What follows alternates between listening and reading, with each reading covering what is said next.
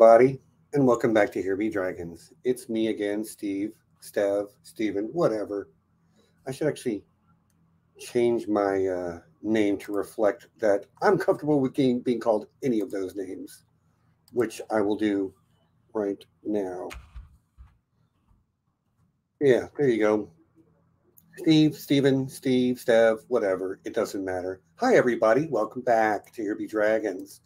Um, this week, I will be discussing uh, history in world building and uh, going to do that through a couple of different sort of lenses. Okay. One of those is going to be what I like that other people have done, some mistakes that I've made along the way, and some of it is also going to be like, what is the history of my world? Uh, but I wanted to start with like with a with a couple of like broad thoughts. Excuse me. um, yeah, and uh, the overall like history is important to any game world. Tolkien. Uh, Tolkien had it for uh, Lord of the Rings. Dune has history. Star Wars mentions its history. So, like, it's obviously an important aspect. And you might kind of think that um, starting with history is the place to start, but it's really not. Um, we're doing it first in this series. People wanted me to talk about it first, but if you're doing world building, history is not the place to start. Uh, theme is the place to start. Uh, I see people are trolling already. Um, yeah. Uh, so like when you're world, I guess it depends on what you're world building for. So I'm going to be having this conversation really in the context of like world building for the purpose of uh, like building your your game world to play D and D or some other um, some other what do you call it tabletop RPG.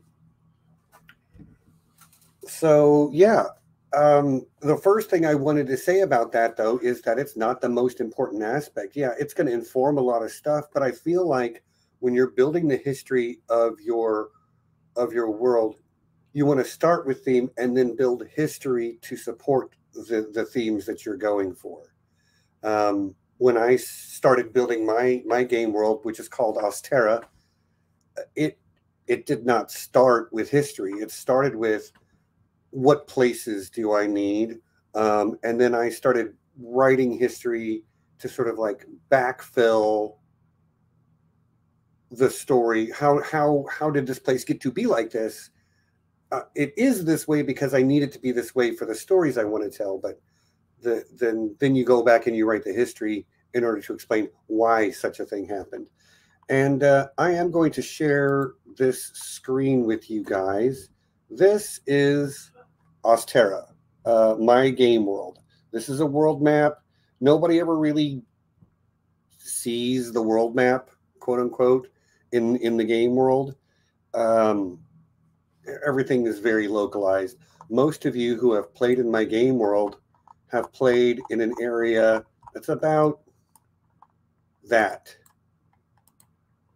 right? Iandros is where almost every game I've run in my game world takes place. Not 100%, but like people who have been to that that right there is the city of Sorfin. It's a huge, massive city with thousands and th- tens of thousands of people living in it, over a hundred thousand even. But on the, you know, it's just a tiny little dinky corner, and yeah, most of my games take place in that one little section of the map. But all of this exists to inform the stories that I tell there. Um, and there's a lot of history that uh, oh, has nothing to do. I just just there because I think it's cool. I just noticed something that doesn't have a shadow. I'm, and now I fixed it. And now I'm going to save it. There we go. Um, while that's saving, I will also say that um, having like a concise history for your game world is not necessary.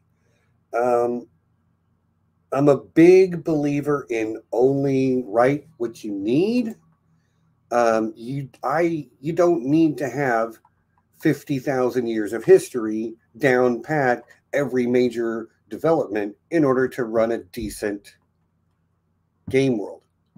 Um, thank you, William. I try very hard. Got to start with terrain. Geography determines history. That there's some degree to that. Uh, I mean, especially in the real world, geography determines history. But I feel like I kind of went backwards. Like I decided, what do I want my themes to be? Then I wrote history to support that, and I made that history fit the geography.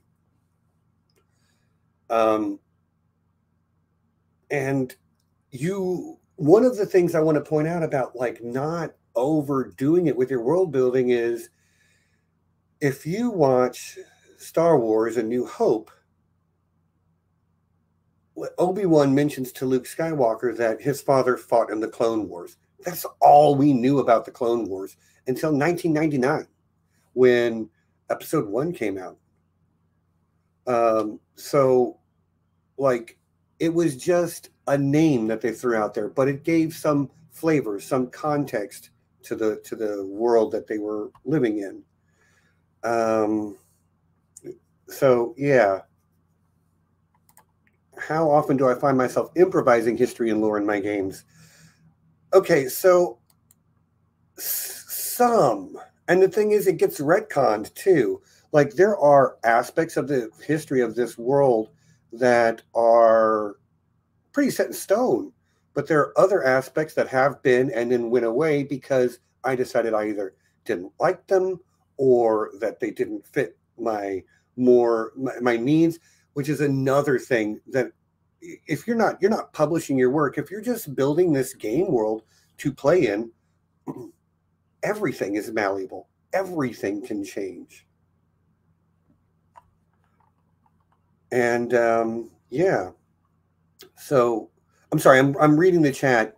I was hoping that that um, Nessie was going to be here this week, but she is on vacation. Um, it's her and Rock's um, anniversary weekend, so like I'm not going to hate on her not being here. You know what I mean? I so happy anniversary, Nessie and Rock. And yeah, hope maybe she'll pop in in a little bit. Um, many of you have played in this game world and know bits and pieces about it. So, uh, like, if you're in the chat and you've got questions, feel free to ask. This is your your opportunity to get me to to to talk about it, like to talk about it, talk about it.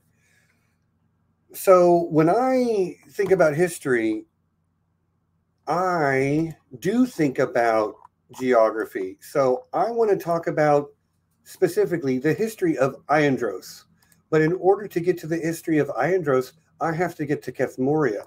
And to get to Kethmoria, I have to get to Arashka.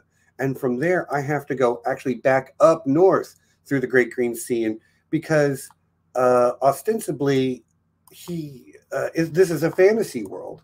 And uh, this map that you're looking at now is a modern map uh, the the time setting that most of my games are set in are to within maybe 50 years of each other and this map is very serviceable for all of those sort of things.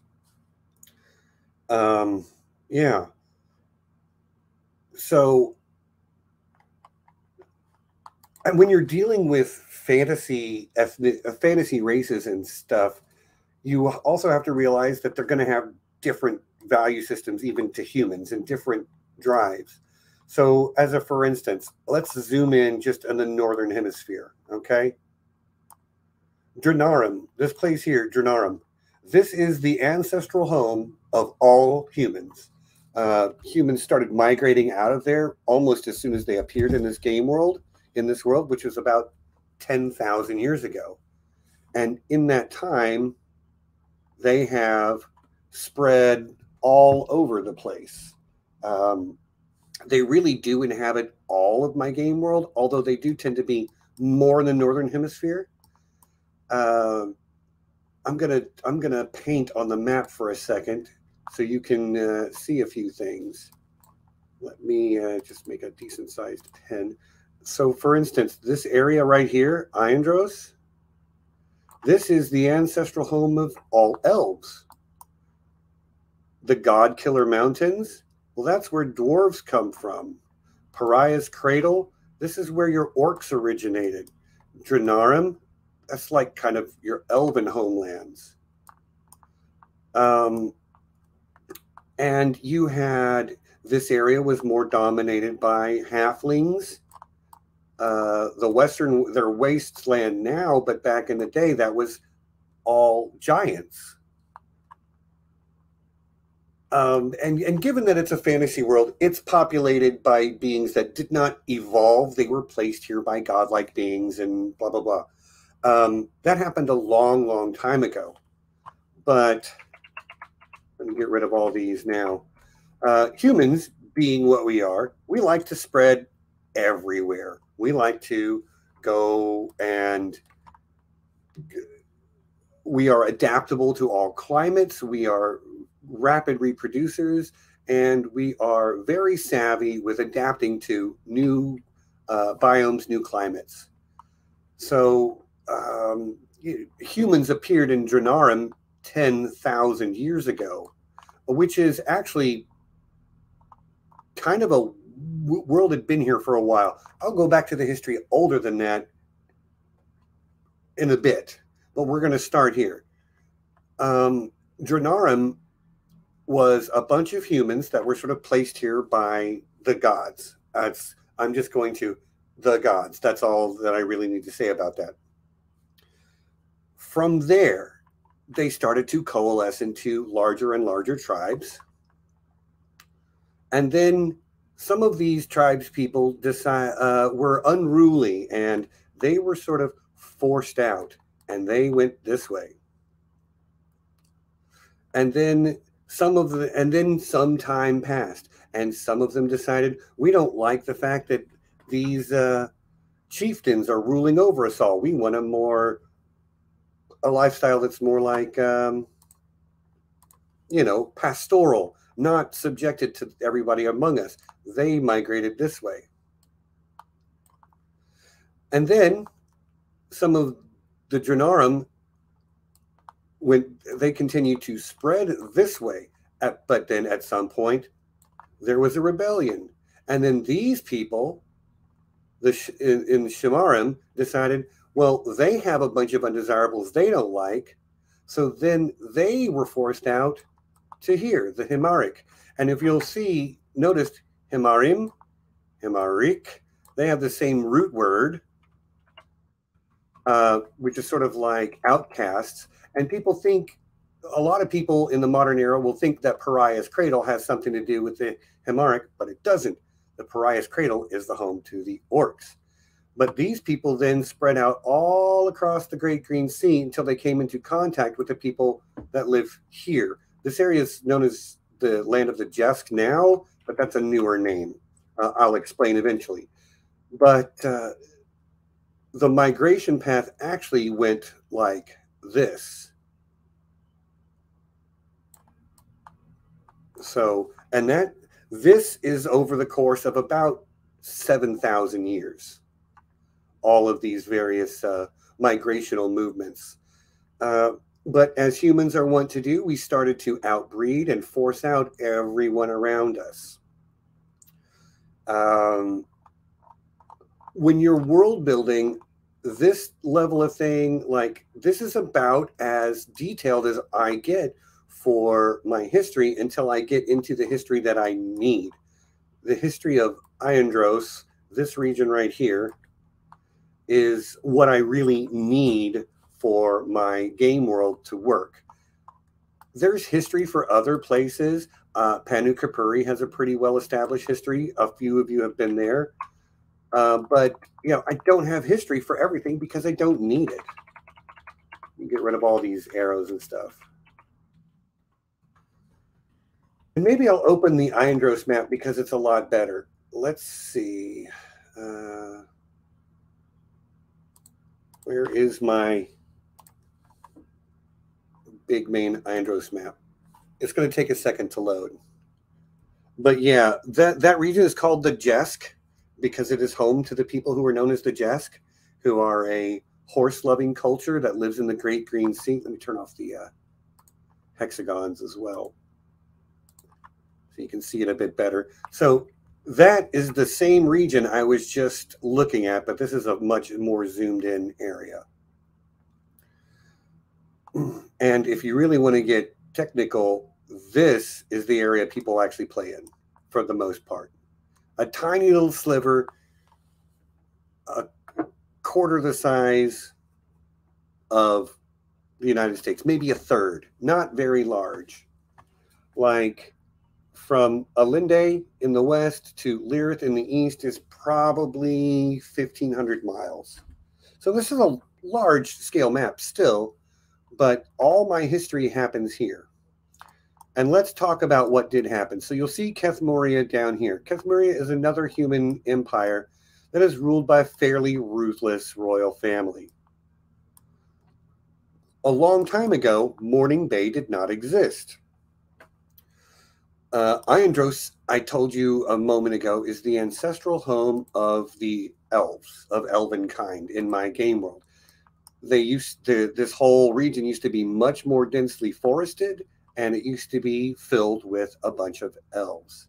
You still have the dwarven cities of Kharazmarad and uh, Ozumvarin in the north and the mountains, the God Killer Mountains. The dwarves still live there, and you'll occasionally see them around down here, but uh, you've still got some elves in the Elvenwood over here in the west, but humans have dominated this region now. And I found myself wondering, like, well, how did that happen? Um, and this all started because the first place I ever made in my game world is this town right here. It's called Crescent. It's the first place I ever invented in Ostera, and that was about about 20 years ago and I have been adding to it ever since. So there's a lot of history in doing that. Uh, but I, I, found myself being like, why would the elves leave? What happened? Why are things the way they are? Because I, I want, Iandros is a place that is, for the most part, pretty pleasant to live in for most people. I mean, it's medieval fantasy world, so not everything is great. Obviously, there's bad guys and dangerous things that live in off the beaten path. But I found myself wondering, like, why, what, here, why, when, what, how. And so I wrote the history to serve the story. And so here's here it is, a thousand years ago, when this whole region was still mostly occupied by elves. The humans were continuing their expansion they were coming not only from the Great Green Sea in the east, where they had where they had been living for quite a long time. There's a whole, whole again a horse culture called the Jesk that lives over there. Uh, so they were not only putting pressure from this direction, but people from Kethmoria were also coming this way. And the elves, being very powerful magic jerks that they are, were seeking a way to halt the advance of the humans. And so they summoned something, a terror from between the stars that fell to earth and then began its march towards the homeland of the humans. So this thing landed here in the ocean and then began moving its way this way in order to destroy the humans. The problem is they got more than they bargained for. They just wanted a thing that would kill their enemies. What they got was a thing that tried to eat the world. Uh, let that be a lesson to you. Don't summon Cthulhu. No matter what the problem is, he's not going to solve it. Um, important life advice. but then that that cuts off the sort of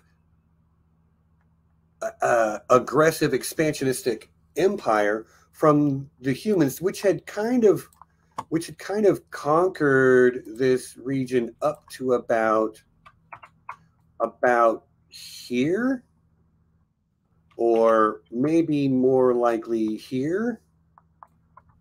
Something along those lines.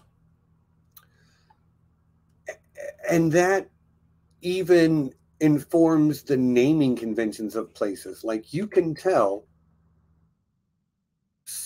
you can tell a difference in the way things are named sunrise whitewood five roads greendale old tree silver springs humans are really good at naming things like that but then you've got these old elvish cities that have become sort of uh, anglicized is not the right word, but it's the closest word I can think of. But uh, Sorfin is an ancient elven city. Anybody that's in my game world that goes to Sorfin, and there are several of you, can tell you that there are they have ancient structures there that predate human habitation. And people are like, we don't know how that was built. It's just always been there. And yeah, the Sorfin is sort of like the humans' a close approximation to what the elves used to name that city. But the so they summon Cthulhu. A bunch of gods and dragons and ultra powerful beings got together to finally put it to sleep. For those of you that have played the Shards of Heaven campaign, you've got a lot more of this history already because the Shards of Heaven is sort of like this thing waking up and it's coming it's it's coming it's it's waking up and the whole campaign is crisscrossing all of Iandros in order to get the things you need to make sure that doesn't happen. Uh, yeah, it, it basically will take you way up there and then down there and then over here and then back to here and then maybe over here and back and then over to here. So you're crisscrossing this whole freaking map several times. And if you've, I'm the dungeon master that is like, oh, I'm from Nelwyn. Well, you got to have a side trip to Nelwyn in there before you go there or something like that. So yeah, there's a lot of opportunity to go all over the place, and the history feeds into all of that. Uh, Sorfin has its own history. Sorfin um, doesn't keep a calendar. Like there is no common calendar in any of Iandros. If you ask somebody in Sorfin what year is it, they'll tell you, oh, it's the 17th year of the reign of of Duke Carson the Sixth, because that's how they keep time. There is no year zero, year one, year two, um, which makes keeping history for their part a little bit difficult. The elves have a different way of looking at it, but their their uh, calendar starts 10,000 years ago. And they're it's based on the elven perspective of where they started and, and their culture. Um, another one of the biggest pitfalls that I ran into was trying to overdo it with my history, trying to explain everything with a historical fact. You don't need to do that. Um, sometimes you just put a name on there. Uh, five, as an example, five roads. Uh, I mean, look, there's five roads going in and out. Pretty easy to name it five roads, right? But why is it there? Um, five roads is actually there more for economic reasons than historical reasons. But we'll get in that. We'll get into that when I start talking about economy and stuff in another video. Um, in this video, I really want to hone in on things that are historically significant. So after after the fall of this guy's called Karkathagon Kamaroth. You don't need to remember remember that. So, some people just refer to him as Big K.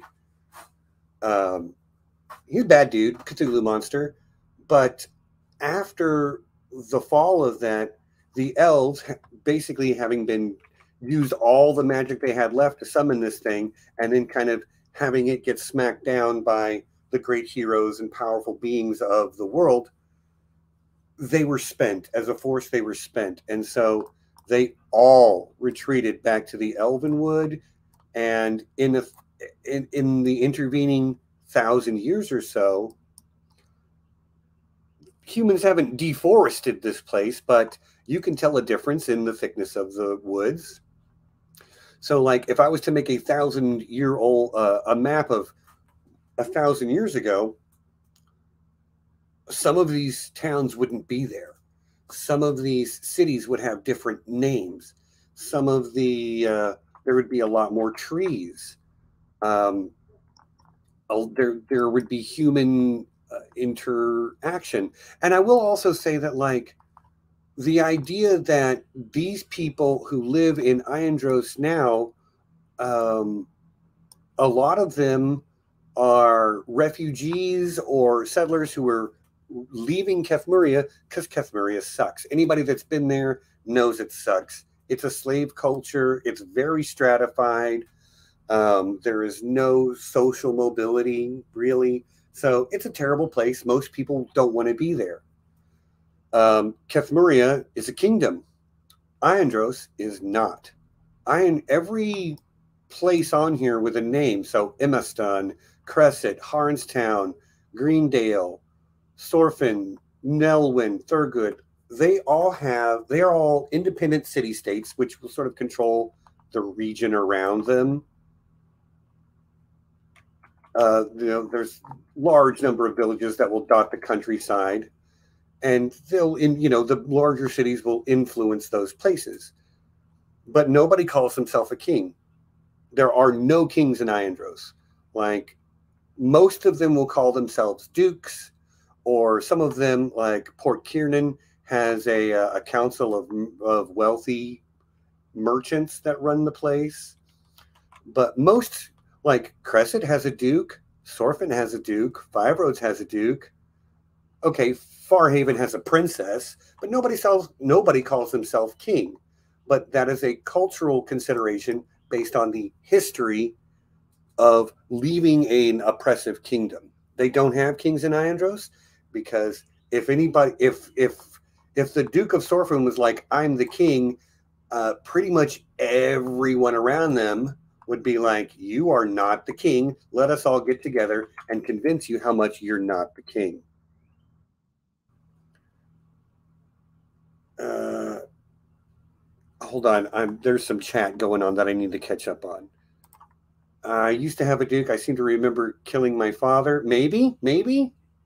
What about City Lord? Yeah, I mean, some of them will have different names. Uh, and again, most of them are vaguely sort of like they're not, it's not feudalism. They call themselves Duke because, like, a lot of the vocabulary for their uh, for the upper echelons of their society comes from feudalism so that's the words they imported because historically that's what they're called. Um, you know, a, a, powerful local noble is a duke. But they, in in other places in the world, the person in charge here in Lyrith would be called a king. Because that's, I mean, when you think about the size, okay, so if this is half, you know, are a quarter the size of the United States, Lyrith and Sorfin and like the areas that they cover are the size of full-on states in the in the United States, which means they're the size of ancient kingdoms. But anybody that calls himself king is just asking for trouble because the rest of Iandros will be like, no, there we there is no king. Um, and when I talk about history, I also think about not just what happened when, but who did it. So wars happen all the time here. Um, really, Sorfin, Port Kiernan, and Lyrith are the big three political players. You've got Alinde way over here, which is also a huge city, but it's a younger city and it's enough removed from the sort of like main population center, which is here, that they they have less sort of they exert less control over the the general happenings. But yeah, there's wars all the time between Sorfin and Lyrith and Port Kiernan due to, you know, okay, see this village right here? Who who runs that? Who do they pay protection money to? Well, over the course of hundreds of years, both places. Um, five roads, like they're right in the middle of everything, so they have to play off all three. And five roads has a lot of like there are battlefields all around five roads because of all the wars that have been fought between these major powers. Most, very few people in my game world have ever sort of traveled in this exact area, but I have the history because people can travel to that area. It does happen sometimes. Um, so again, like what only what is needed, only what is needed. So yes, I have heroes that I can talk about. Uh, Eric First King, who is actually used to have a kingdom here in Whitewood, um, was a kingdom that uh, existed before Morning Bay did. If you'll remember, Morning Bay exists because the elves called down a Cthulhu monster and it started eating the world, as you do. Um, so Whitewood existed. It wasn't called Whitewood, um, but there was a kingdom that kind of covered this area. But it doesn't exist anymore after the cutting, after it got cut off by Morning Bay, and after people continued to spread out and then as people moved into the places vacated by elves, uh, other population centers grew up. Whitewood actually does not have great access to. Uh, it's not the most fertile land. Uh, you can. I hope you can tell by the map colors. This is a little bit browner over here by Five Roads and Whitewood, so it's not nearly as you know. It's not as fertile you get over here by the chalk cliffs and up the river valleys and up into like this region here. This is very fertile ground. So, like, that's why a kingdom rose here, but it fell, or it didn't fall, but it sort of like decreased in power. And at some point, this guy was probably the guy who called himself king was probably killed because people were like, no, you're not a king. We don't do kings here. Um, let me catch up with the chat. I'm going to put that on the screen.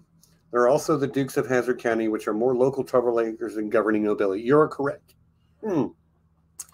I used to love that show as I when I was a kid. I wish it wasn't so problematic, you know. And then Wheezy says there are city lords in Blood of Youth, a Chinese wuxia series that they just watched. One city had three city lords. Yeah, um, that's probably more like what they have at, uh, excuse me, in Port Kiernan is city lords. Um, one of the things that I so I've I've said don't do more than you need to, but I, would say figure out what you think is the minimum you need and then do 50% more than that because you're going to need more than you think you do. Like, why does, uh, again, like, I wanted to tell a story about humans that, that, you know, a city states that is in a place where it's not their ancestral home. They are colonizers or invaders, or however you want to look at it. Um, anybody that goes to visit elves in the Elvenwood knows that they still have a chip on their shoulder about it. It only happened a thousand years ago. So there aren't any elves alive that remember it, but there are elves alive whose parents would have remembered it. Um, because it's only a thousand years. Elves in my game world live to be about 800 um, before dying of old age. So I wanted, I wanted, you know, what, and the theme is like they all coexist. Like Sorfin and Port Kiernan are massive rivals and also the two biggest trade partners on this map.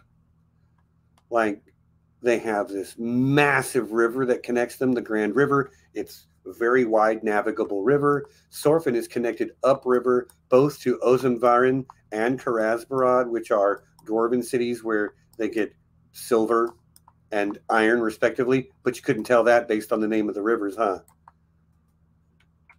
But uh, yes, so like everything from uh, the high quality foodstuffs and wine of Nel or of Nelwyn flows down there. Harnstown makes excellent, excellent wine that flows in there. Old Tree is known for its um, well, they're they're gnomes, and in D and D, gnomes are sort of tinkers and inventors, so that all moves into Sorfin.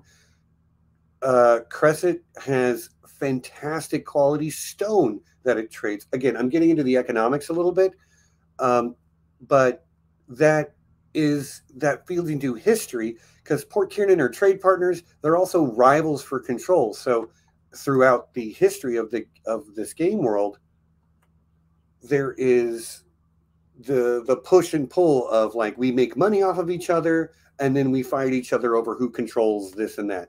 Because Port Kiernan, if you'll notice, in Iandros, there is one major port city. There are a couple of other minor ports. Alinde is kind of a lesser port. Southwatch, Sunrise, they're both sort of lesser port cities. But Port Kiernan, being at the mouth of a river, is the only major port in the whole region. So anything that comes from sort of outside Iandros, or we'll say probably like 80% of it, comes through Port Kiernan. The other 20% comes through the other three ports. And it's probably only local to them. Um, if you're if you're in Hamel, which is named for Mark Hamill, by the way, I have all kinds of tributes to people I love and admire on this map. But if if you have silk and you live in Hamel, that silk came from across the Sea of Lost Hopes into Port Kiernan and then that way. It's the only way to get it. You can't make silk here. We don't have the the don't have the stuff for it. Don't have the the right kind of worm here. Um, and uh, and the same is also true. Like anything that is exported out of Iandros, pretty much all of it leaves from Port Kiernan. But when you're talking about the history, like you don't, I don't need to know how many battles, how many died, when they were fought. I just need to know that in their history there have been many battles, and in a specific game, I can add to that along the way and be like, uh, okay, so people want to, you guys are right here on the map. I'm brush is a bit thick. I'm going to skinny it down a little bit. You guys are right here on the map. That's an excellent place for there to have been a battle between Port Kiernan and Sorfin in the past. And if that's what I want to do for that game group, that's fine. And the next game group that comes along, there can have been a battle there if it continues to serve. Or if it doesn't, it can be gone. It can be not there. So, like the idea of like having a solid history is something that I actually don't always go for. And one of the things I've told several people before as well is that like there are things about the history of this game world that I intentionally don't know. There it's a high fantasy world. Uh, having all the answers removes all the mystery even for me. Like, if I have the answer to every question somebody asks me about the history, there's nothing left new for me to discover about it or to change or to make relevant for each individual gamer. So that's one of the things that I think is very different between world building for a tabletop RPG and world building for almost any other reason is that your purpose for doing it is different if I was going to publish this in a book, it would be different. But I'm not publishing it in a book. I'm giving it to five or six people at a time. And it just needs to be make sense and being internally consistent for that gaming group. And even uh, I've run the Shards of Heaven campaign for four different groups now, and it's different for all of them.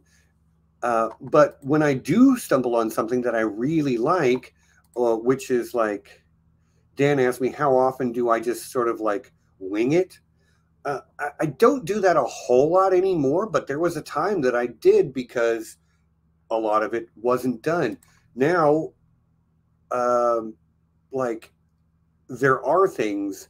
Uh, history is not where I've done the most work, honestly, because I don't feel like it's the most important. I feel like culture is the most important thing, and I cannot wait to get into talking about Iandrosi culture. It's fantastic. I love it. But like I I don't need every aspect. I need enough for it to be convincing. I need enough room to to let it grow and to let the people that I'm playing with add to it because that's another thing.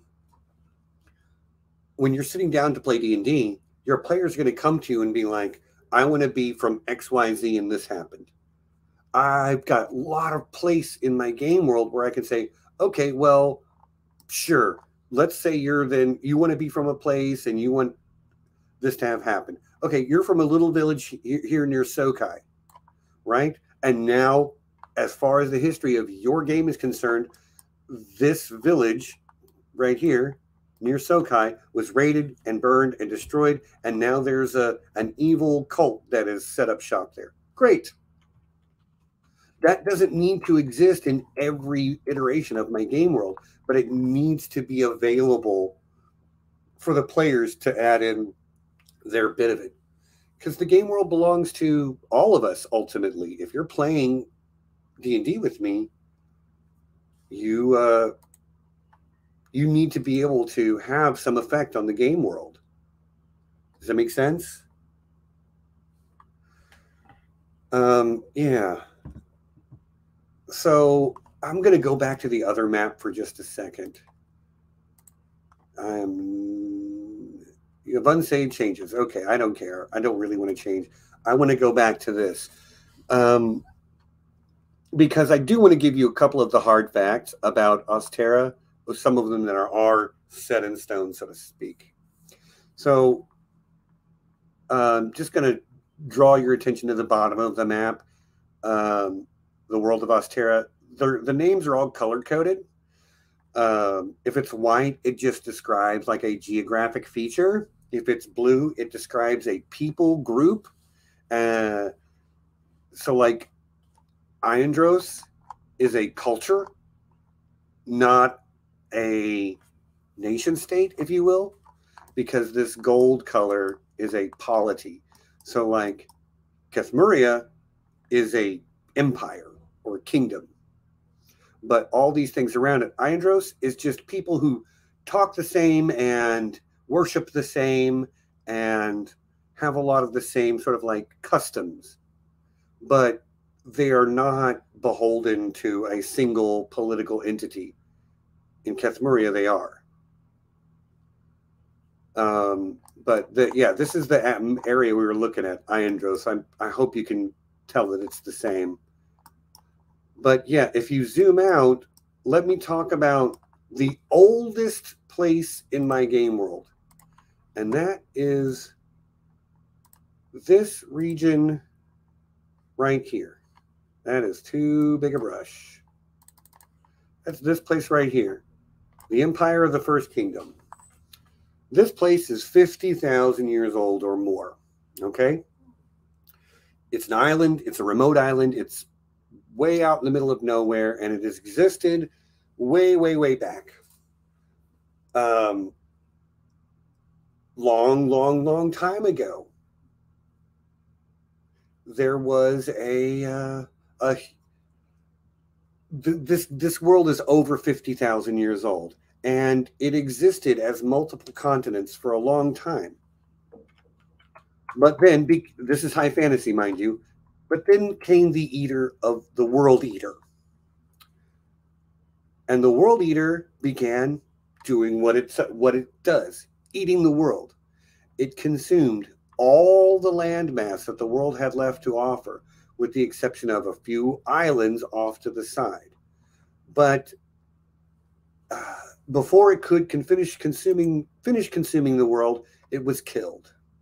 It was killed by a, a coalition of powerful godlike beings from beyond the astral plane and it it was killed and when it died it fell back to the world and its bones became the earth hence the name Ostera.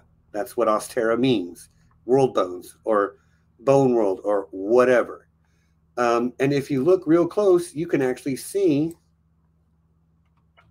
you can actually see it. Let me make the brush a little bit thicker to make it a little more obvious. But you can see the eater of the world or the world eater if I can get my brush to cooperate. Okay, there's the tail. There's the tail that was cut off. Here's the body. This area up here is its crushed head. It's even got, if you see these like side spurs of mountains, it's got little arms and legs off to the side. This is the thing that was eating the world. And eventually it was defeated, fell down, and it uh, provided a new world for the gods to then repopulate with humans and elves and dwarves and orcs and halflings and gnomes.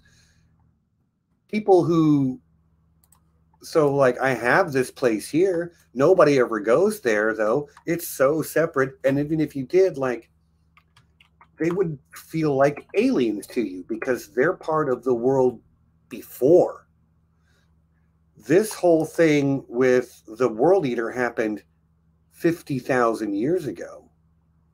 I'm sorry, 10,000 years ago. And then the world was repopulated.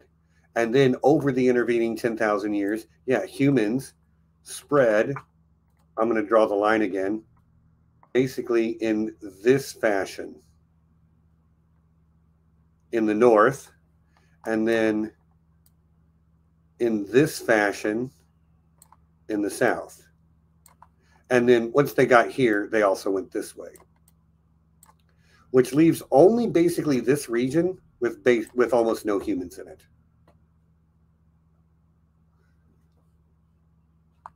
Um, side note for those of you who are watching and and notice like Bleakheart is called Bleakheart because that is the literal heart of the World Eater. See that little that little spot right there? That's um that's the heart of the World Eater. And um, if you're ever playing in my game world, I'm just going to say, don't go here. There is no worse place in the world to go than here. It, it's it's a horrible, terrible place. You don't want to be there. It's the heart of a of a well, it's this thing is the size of a planet, so you figure it out. It's the cursed heart of the world eater that was slain by the Titans, if you will. If you get down here, I'm going to talk about Panu Kapuri for just a few minutes, and then I'm probably going to wrap up for today. Um, so, Panu Kapuri has its own history that's like thousands of years old and yes, humans live here, but the vast majority uh, they came in through here, uh, you know, a couple thousand years ago, through the one one of the very few gaps. But Panu Kapuri is dominated by things like Aarakocra, Kenku, uh, Harengon. Um, what are some of the other ones, y'all, who have been there? Nessie, Emma, Micah. Uh, Nessie, Emma, Micah, Julie, they've all been there. They're the only they're the only people I played with currently that have been there. But Panu Kapuri feels very different. Um, big tip for for those of you: don't be afraid to straight up steal from real history. Panu, the origin of Panu Kapuri, when I was having one of their sort of like diplomats explain their history, it's actually was sort of tied in a lot of ways similar to the history of um, the League of the Iroquois, which is very interesting. Sort of like origin story of the League of the Iroquois with with Tododaho and um, is it Hiawatha? I don't want to speak out of turn. Tododaho is a name I know for sure, but like their their history, the the the origin of like how they came together is very similar. So if you uh, look up or read about the the League of the Iroquois, you'll understand a, in broad strokes how Penocapuri came to be.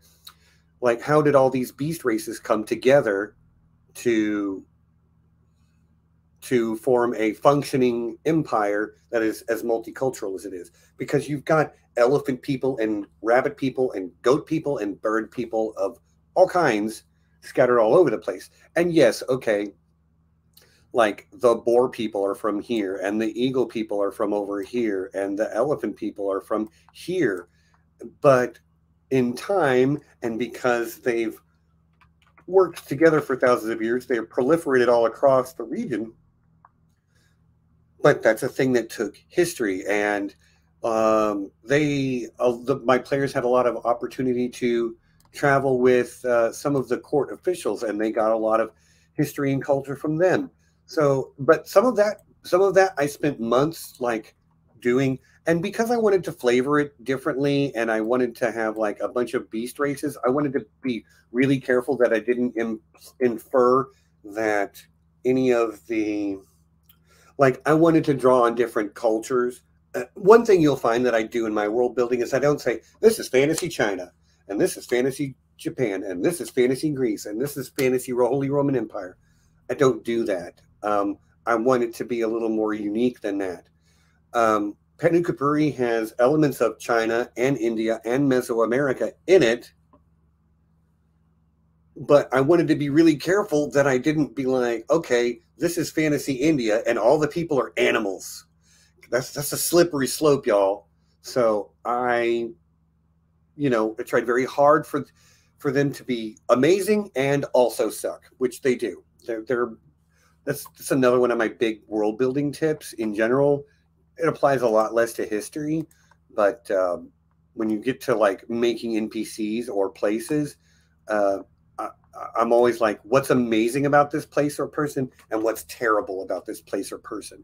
And if I can answer those two questions, it's already got a lot of like personality to it. But yeah, Penocapuri has its own history that like, and they're very closed off from the rest of the world. Like, they have one port where everything comes in and out of, and they only trade with these people from this steel slash silk slash spice islands because they're they're the only ones that are basically allowed to come into this one port city, which serves the whole place. Um, they're the type of culture that's like, hey, we have everything we need except maybe some steel.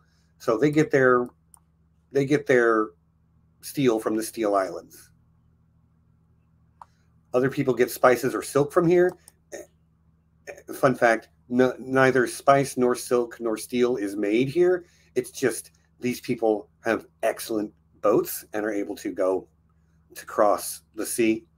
And so, like, the you know people in in Iandros call them the Silk Islands because that's where silk comes from.